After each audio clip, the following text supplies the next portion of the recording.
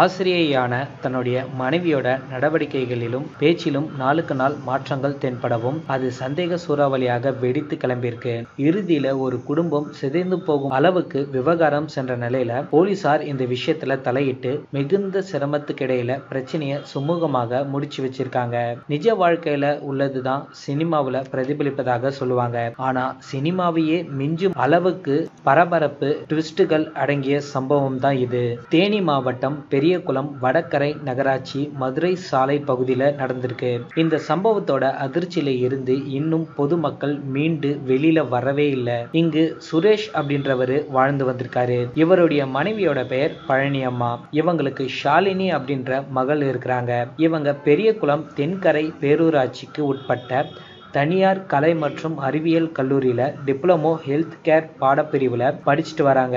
அதே கல்லூரியில டீச்சராக வேலை பார்ப்பவர்கள் தீபா கைலாசப்பட்டியை சேர்ந்த முருகன் கோகிலா வாணியோட தம்பதியின் மகள் ஆவாங்க. தீபாவுக்கு கல்யாணம் ஆகியிருக்கு கணவர் பெயர் முத்துப்பாண்டி. இவர்களுக்கு மூன்று மாதம் கை குழந்தை இருக்குது.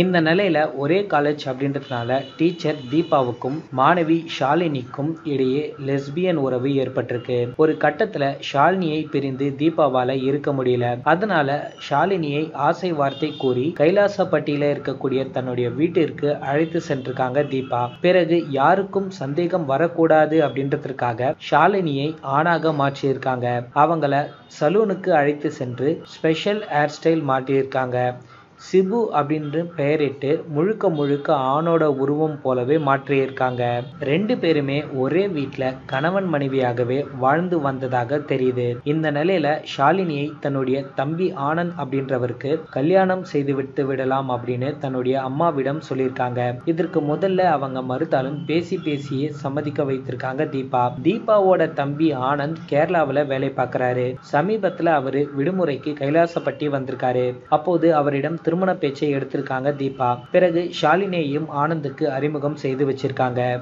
ஷாலினியை ஆனந்துக்கும் பிடித்து போயிருக்கு. திருமணத்துக்கு சம்மதம் சொல்லிய ஆனந்த் தன்னுடைய விடுமுறை முறிந்ததும் மறுபடியும் கேரளாவுக்கே வேலைக்கு சென்றிருக்காரு. இந்த நிலையில தீபாவோட நடவடிக்கைகள்ல கணவருக்கு முத்துப்பாண்டிக்கு சந்தேகம் தொடங்கியிருக்கு. எந்நேரமும் சிபுவிடம் தன்னுடைய மனைவி ஒட்டி கொண்டே இருப்பதையும் ஒரே ரூமிலேயே இருவரும் உறவாடி கொண்டிருப்பதையும் பார்த்து முத்துப்பாண்டிக்கு எரிச்சலாகியிருக்கு. இந்த சந்தேகம் உச்சகட்டத்துக்கு என்றதை அடுத்து தனக்கு பிறந்திருக்கும் குழந்தை தன்னை போல இல்லையே.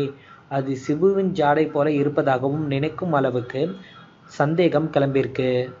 ஷாலினி அப்படின்ற சிபு ஆணாக மாறிவிட்டதால தீபாவிற்கு பிறந்திருக்கும் குழந்தை ஷாலினி அப்படின்ற சிபுவிற்கு தான் பிறந்துள்ளதாக கூறி பிரச்சனையை கிளப்பியிருக்காரு.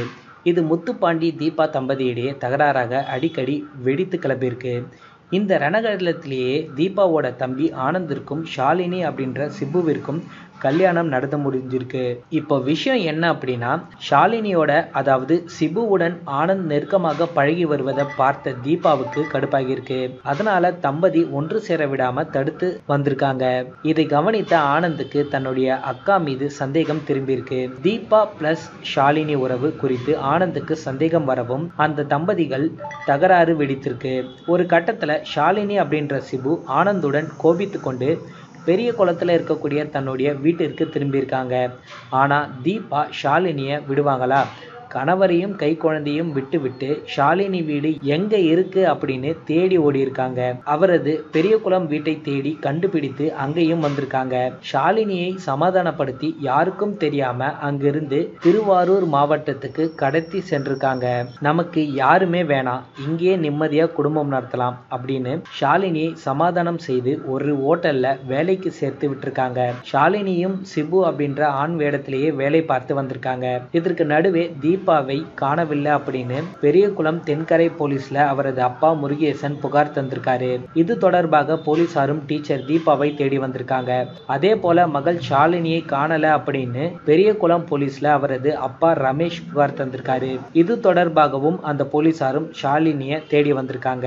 கடைசியில தீபாவும் ஷாலினியும் தலைமறைவாக வாழ்ந்து கொண்டிருப்பதை பல கட்ட தேடலுக்கு பிறகுதான் கண்டுபிடிச்சிருக்காங்க. இதற்கு பிறகு பெரியகுளம் போலீசார் இருவரையும் ஸ்டேஷனுக்கு அழைத்து சென்று விசாரணை விசாரணை நடத்தியிருக்காங்க. இருவருக்கும் கவுன்சிலிங் தந்து அவரவர் அம்மா அப்பாவுடன் போலீசார் அனுப்பி வைச்சாங்க. ஆனா பெற்றோருடன் கிளம்பி செல்லும் போது தீபா சொல்றாங்க என் பெற்றோர்களோட பிடிவாதத்தால் தான் நான் இப்ப பிரிந்துட்டு போறேன். மறுபடியும் நாங்க கண்டிப்பாக ஒன்று சேர்ந்து வாழ்வோம் அப்படின்னு சொல்லிவிட்டு போயிருக்காங்க. தேனியில இந்த சம்பவம் மிகுந்த பரபரப்பை ஏற்படுத்தியிருக்கு. காதலுக்கு பாலின பேதங்கள் கிடையாது அப்படின்னாலும் இந்த நவீன யுகத்திலும் பல்வேறு தரப்பினருக்கு சிக்கலுரியதாக இருக்குது. ஆண் பெண் காதலுக்கு எப்படி இருக்கிறதோ அதை விட அதிகமாக தன்பால் ஈர்ப்பாளர்களின் காதலுக்கும் மிகப்பெரிய எதிர்ப்புகள் இருந்து கொண்டுதான் வருது. இத்தகைய உறவு முறைகளை நீதிமன்றங்கள் ஏற்றாலும் கூட பொது சமூகம் மிக கொடூரமான கண்ணோட்டத்துல தான் இதை கையாண்டு வருவதையும் மறுக்க முடியாது. அதே சமயம் கல்வி கற்பிக்க வேண்டிய ஆசிரியையே இந்த கடமையை தவறி மாணவி தவறான சிந்தனைக்கு உட்படுத்தி அந்த மாணவியோட எதிர்காலத்தையே நாசமாக்கி இருப்பதை எப்படி எடுத்துக்கொள்வது அப்படின்றது தான் தெரியல. இந்த செய்தி பத்தி உங்களுடைய கருத்துக்களை கீழே இருக்கிற கமெண்ட் பாக்ஸ்ல கமெண்ட் பண்ணுங்க. மேலும் இது போன்ற பல செய்திகளை உடனுக்குடன் தெரிந்து கொள்ள எங்களோட சேனலை மறக்காம சப்ஸ்கிரைப் பண்ணுங்க.